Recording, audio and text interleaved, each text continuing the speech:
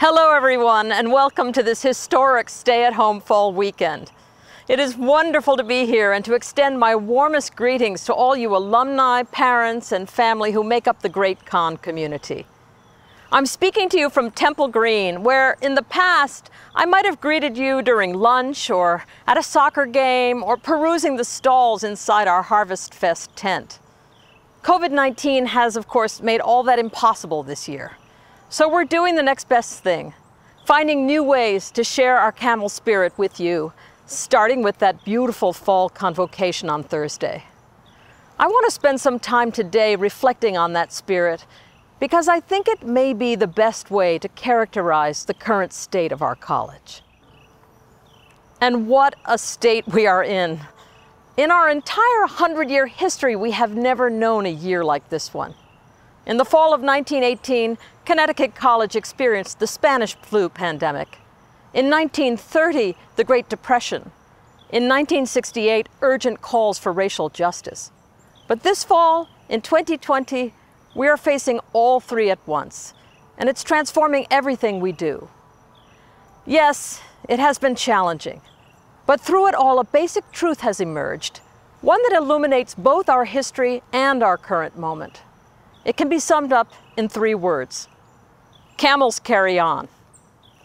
All those things the camel is known for, intelligence, patience, constancy, and resilience, I have seen again and again this year as I have witnessed our wonderful staff, faculty, students, and alumni turn a bad situation into something good. Camels are fighters. Camels go the extra mile. Camels never, ever give up. And when I tell you everything that has happened over the past several months, I think you'll see what I mean. Let me begin with the wonderful class of 2024. These intrepid students were destined to be camels, having pushed through a senior year upended by a pandemic. We gave them until June to make their college decision, and we're glad we did.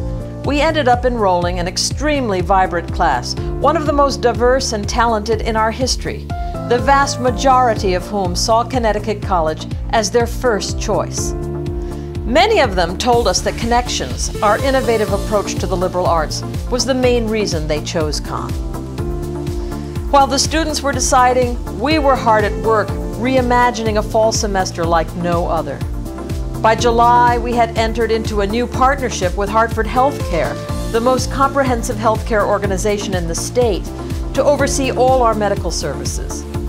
By August, we had transformed the hockey rink into our very own COVID 19 testing center. With support from the Broad Institute, we were soon testing everyone in residence twice per week. As of today, we have completed nearly 20,000 tests of students, faculty, and staff. We also converted dining into a takeout operation, redesigned our cleaning protocols, created socially distanced classrooms, and added Adirondack chairs and tents for formal and informal teaching. Most important, we re engineered our entire academic schedule into a flexible mix of in person, remote, and hybrid courses every day of the week. When classes started September 1st, we had faculty, students, and staff on campus or working remotely from locations across the region, across the country, and across the world.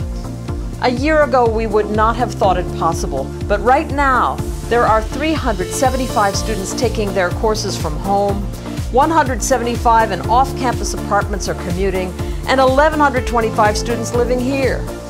And for those on campus, our 750 acres are being used like never before, with students studying, doing team practices, taking dance classes, or just enjoying the great outdoors. By the way, those dancers on the green are first year students in a seminar taught by David Dorfman. Looking down the hill, they can see the biggest project taking place on campus, the renovation of Palmer Auditorium into the Athey Center for Performance and Research. Last year on fall weekend, we had a ceremonial groundbreaking. This year, construction is in full swing. It is the first major upgrade since the building opened in 1939. Palmer is our wonderful Art Deco era theater, designed by the architect of the Empire State Building. The renovation preserves its historic character while introducing much needed improvements. A new theater classroom, seminar room, and two areas for collaboration and study, an office suite for theater faculty and staff, a new entry hall, and an elevator, making the building accessible for the first time in its history. The hall itself includes a new stage, new seating, lighting, and sound, and the return of original windows for natural light. Major gifts from Nancy Athey, class of 72, and Preston Athey, and the Sherman Fairchild Foundation made it all possible. Construction began as soon as the governor reopened the state for business.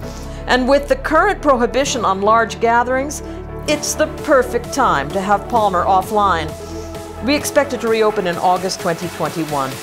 This is a great example of Conn carrying on. Another example is our waterfront. Conn is the only NESCAC school located on the water. We love our great view of the Sound, but we actually touch the Thames River. A century ago, this was the most prized aspect of the college landscape. Dense overgrowth has made it harder to appreciate in recent years. So our grounds crew took advantage of the empty campus last spring to do something about it. Through a huge effort, they reclaimed the hillside. The river is now a destination and a beautiful new way to enjoy the outdoors. Making our waterfront accessible is a goal of both our strategic plan and our action plan for athletics, unveiled last fall, that seeks to elevate the student athlete experience by investing in coaching, recruitment, and facilities. The pandemic may have reduced NESCAC competition, but it has not reduced our commitment to these goals the second stage of the waterfront project is a new array of floating docks for sailing, rowing, and recreation, a project we hope to complete by next year. After Palmer, the next big project called for in our master plan is the revitalization of the College Center at Crozier Williams, or Cro. In February, before the pandemic turned life on its head, the Board of Trustees approved the new architectural concept for Cro an open floor plan with fireplaces, study areas, a cafe, a pub, and a large meeting room that doubles as a performance venue. Advancing our fundraising for this project is another major goal for this year. By offering opportunities for enhanced student engagement, the Cro project also speaks to another priority, one that we sometimes call full participation. The vision of a residential community where all people can thrive, reach their full potential, and contribute to the flourishing of others. Our 2016 strategic plan is built around that ideal. Our 2018 Equity and Inclusion Action Plan spells it out with greater depth. In the past months, it has become more urgent in the wake of the pandemic, the killing of George Floyd, and the global outcry for racial justice. To talk about the state of the college means discussing all these issues and how we are addressing them. Our guide star is the Dialogue Project. A year ago, I announced a gift from Agnes Gund, class of 1960, that would endow a new program on intergroup dialogue and anti-racist education. A vibrant democracy depends on citizens prepared to engage in dialogue about and across social differences, citizens with greater reserves of empathy and resilience. Last year, the Gund Dialogue Project supported both a first year seminar and a public lecture series bringing together the campus and the New London community in important conversations on race. The project trained dozens of student leaders in the art of facilitating difficult conversations, leaders who are now training their peers. The college also expanded its partnership with the Posse Foundation, bringing a new posse from New York City to join our long-standing posses from Chicago. Since August, we have held three summits on racial equity attended by 400 students, faculty, and alumni. And our Dean of Institutional Equity and Inclusion, John McKnight, is leading an important task force convened by the Mayor of New London on police reform in the city. All this work is a reflection of our mission of educating students to put the liberal arts into action, a mission that is beautifully realized through our new curriculum, Connections. A year ago at this time, we were planning the culminating event for the first cohort of students to go through Connections, our inaugural all-college symposium. Last November, seniors in the class of 2020 gave us the best they had. They showed how they had explored personally meaningful questions through pathways that combined courses, research, jobs, community work, and global experiences. It was a monumental day, as one senior commented, where we were able to reflect on our own paths and be inspired by the work of our peers.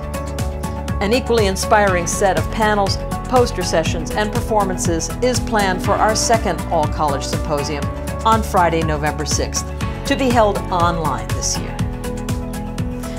The point of connections, and the point of our mission, of course, is to enable students to achieve their dreams.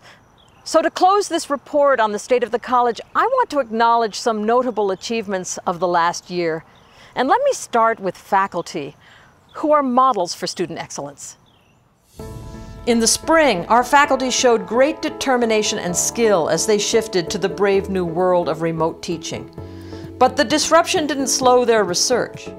The prodigious Peter Siver, for example, professor of botany and environmental studies, just won $287,000 from the National Science Foundation to support his research tracing 80 million years of evolution in freshwater organisms. Marc Zimmer, professor of chemistry, brought out a new book, his sixth, called The State of Science, describing the rapid transformation of fields, research methods, and public trust in science. Carla Parker Athel, one of our newest assistant professors in biology, won a seed grant from the Sloan Scholars Mentoring Network to advance her research on cortisol exposure and the biological impact of trauma on child development. Mara Suttmann-Lea, assistant professor of government, won a highly competitive fellowship from the Social Science Research Council for her work on the use of social media in voter education. And Anna Vallye, assistant professor of art history and architecture, received a fellowship at the University of Basel to complete her book on German modernist architects and the American welfare state. No wonder our students are inspired, and following the example, they have racked up their own awards. Some are on their way to graduate school, some will travel the world.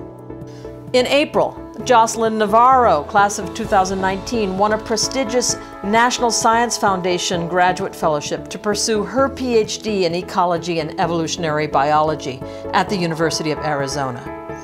And Jamila Esbide, class of 2019, fresh from her internship at the UN, won a Gates Cambridge Fellowship to pursue studies in identity, diplomacy, and conflict resolution at the University of Cambridge this year.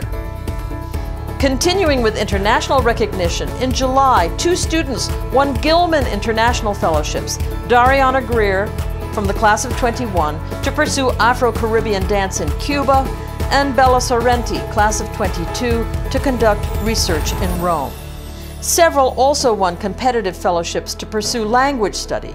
Grace Kovich, class of 21, won a Boren Fellowship to spend a summer in Beijing. Hilary Ton, class of 21, won both a Gilman Critical Need Fellowship and a Fund for Education Abroad Scholarship, awarded to just 2% of applicants to study Chinese. And Dashiell Hunter, class of 22, won a critical language scholarship from the U.S. State Department to study Arabic in Jordan. In February, Connecticut College was again named a top producer of Fulbrights, and by May, we had four more winners. Grace Berman, class of 18, and Megan Ferragni, class of 20 to teach in Spain, Scott Brower to teach in Germany, and Sophia Angelakun to teach in Austria. Not to mention the many stars we have among our alumni, let me mention just a couple of the most recent. Jazmine Hughes, class of 2012, who was on the Forbes 30 Under 30 list just a couple of years ago, was promoted this summer to story editor of the New York Times Magazine.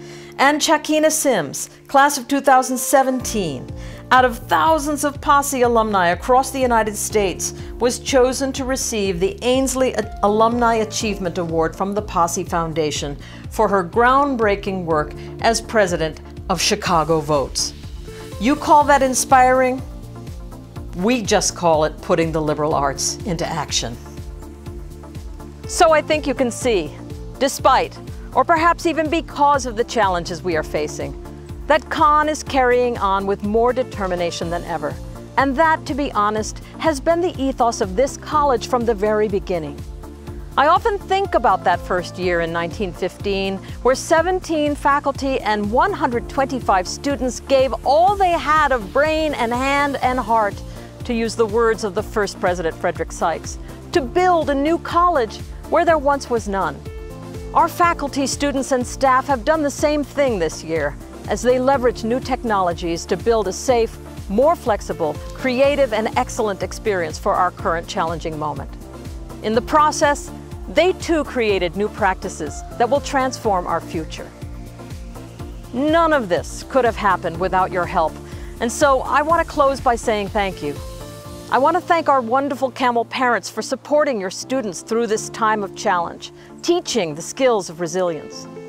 I want to thank our amazing Camel alumni for stepping up to help our students in their time of greatest need and for your desire to make your alma mater always more beautiful, more just, and more excellent. Excellence is a continual striving for greater achievement and impact. So you are the embodiment of the excellence that Connecticut College has been committed to for the whole of its 100-year history. Let me thank all of you for helping us carry on with the great unfinished project of Connecticut College and for helping our students achieve their dreams. Happy fall weekend. I'd like to thank all the alumni who made it possible for us to come back because I'm so happy to be back at Connecticut College. Thank you to every professor who's made it possible for each student to have the right accommodations. I'd also like to thank each and every parent for supporting us on campus. I would like to say thank you to all of those who have supported the New York and Chicago Posse. Lastly, I would also like to say thank you to all of the professors who have changed the way they're teaching in order to give Connecticut College students a greater education through the midst of the pandemic. Thank you. Thank you for providing international students with a safe space to stay over the summer. And thanks for the faculty and staff for making it safe for students to return back to campus. Thank you to all the friends that I have made who have since graduated, who helped me feel confident and comfortable in the Conn community. And especially thank you to the staff members who have made it possible for us to be on campus this fall. I'd like to thank the faculty and staff of Connecticut College to make it possible for me to even stand here during this semester and during the times that we're in. And I also wanted to thank the parents who trusted Connecticut College enough to let their children here and make it a more lively campus. And just in general, just wanted to finally thank President Katherine Bergeron, who worked with her team of faculty to make it possible for us to learn on campus this year and have all the activities this year. And I'm really thankful to even be here and learning in person in Connecticut College. I would like to thank our staff and our administration for all the effort that you have put into our return back to Conn. And I would also love to give a warm thank you to our parents and our alum. Your help affects our community greatly.